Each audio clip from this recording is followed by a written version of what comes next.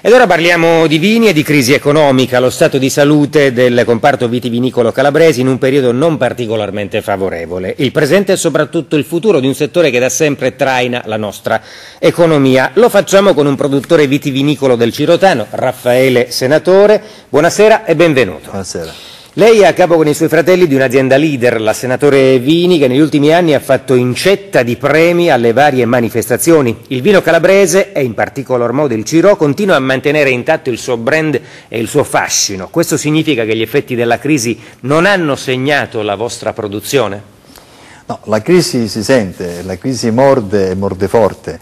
Ciononostante si la crisi si, dire, si, sconfigge lavorando, facendo le cose in maniera seria, producendo prodotti di qualità e perseverando quindi in questa opera, opera di, di, di, qualità e poi perché no andando in giro cercando di proporre il proprio prodotto, di proporre la propria terra, il proprio ter terroir e in qualche modo i risultati poi arrivano e quindi la, la, la, la, crisi viene sconfitta così. Ecco, a proposito, a quanto servono le vetrine delle grandi fiere nazionali ed internazionali o è più efficace la promozione con gli enti e le comunità dei calabresi all'estero? Sappiamo che lei spesso va oltre confine per promuovere la sua casa vinicola. Ma intanto serve tutto, sicuramente le grandi vetrine come Venitere, come il Salotto del Gusto e tante altre manifestazioni enogastronomiche che si, si, si, ci sono in Italia e nel mondo servono tantissimo. Prossimamente saremo come azienda Senatore Vini, saremo a Veniteri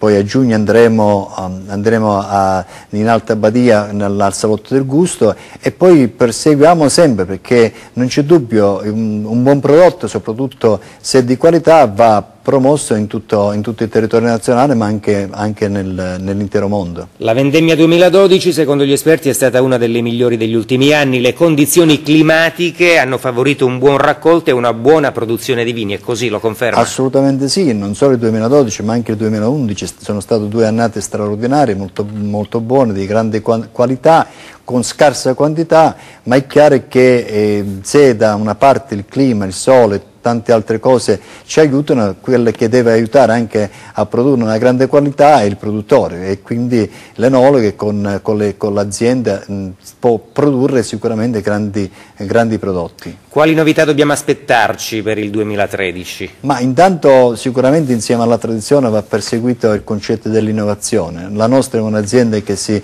che si innova continuamente e penso che anche quest'anno usciremo con un nuovo vino, magari che dedicheremo forse al Santo Padre, eh, ma ovviamente questo è tutto, tutto, da, tutto da, da, vedere, tutto da, al di là da venire, quel che conta sono, è il passato. Grazie, grazie a, Raffaele Senatore della Casa Vinicola Senatore appunto di, di Ciro, buon lavoro.